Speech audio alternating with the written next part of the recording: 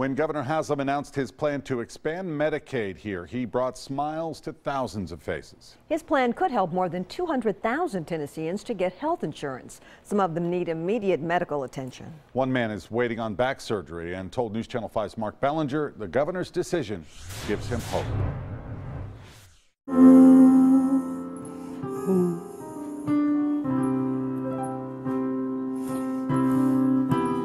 They say music is good for the soul. It helped David Adcox get through some difficult times. He's been suffering from back pain and can't work.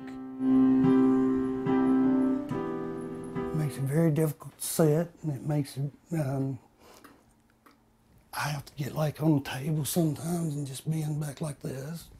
Like last night, I had a hard time sleeping. The only care he gets is a trip to the emergency room for extreme pain. Cheryl Pitts drives him there. He has severe spasms sometimes, and I mean, I have literally sat and watched him cry with pain. Doctors have recommended surgery, but Adcox doesn't have health insurance. He doesn't qualify for TennCare, and insurance under the Affordable Care Act is too expensive. Well, I went through the marketplace, and some of my prices were, I mean, the cheapest one was like four, $442. Adcox is one of those people you often hear about who is caught in Tennessee's Medicaid coverage gap. There may be up to 330,000 people like him. Good morning, everyone. When Governor Bill Haslam announced his plan to expand Medicaid Monday, Adcox could not have been happier. I was, I was about to jump for joy when I actually didn't see it. My mother called me and told me. Adcox wasn't alone. Hospitals see it as a way to fix skyrocketing indigent patient costs. The clergy also rejoiced.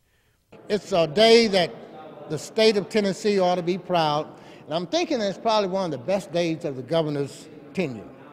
The governor estimates his expansion plan will help more than 200,000 Tennesseans who are not insured.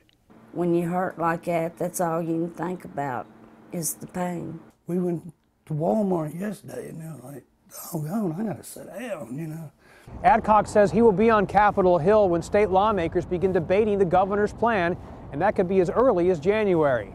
Mark Bellinger, News Channel 5 HD. A spokeswoman for Governor Haslam told us tonight it's still too early to know when that special session will be scheduled. State lawmakers, though, go back to work January 13th.